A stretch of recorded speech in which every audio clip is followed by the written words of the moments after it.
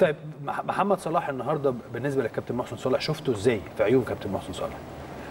آه، في تحسن آه. في مستوى اللياقة البدنية وفي المستوى المهاري وفي مستوى ال- التصرف تحت الضغط وبعدين إحنا مش متعودين محمد يسجل بدماغه كتير مش آه. آه. مش هداف بالرأس آه الهدف اللي سجله النهارده ذكي جدا لأنه كانت يعني كورة آه، آه، جاية من ناحية عكسية ومستوى الكورة مش مرتفع الكورة كان مستواها يعني متوسط مش محتاج قفز عالي وده اللي ساعده لأنه يسجل لو هو كانت الكورة عالية ما كانش هيقدر يتصرف فيها لأن. هيخش في صراع مع القلب الدفاع أو مع الظهير اللي هو أعلى منه ودي أيوة. كانت يعني آه، بقت يعني آه، آه، مشكلة بالنسبة للمهاجمين قصار القامة.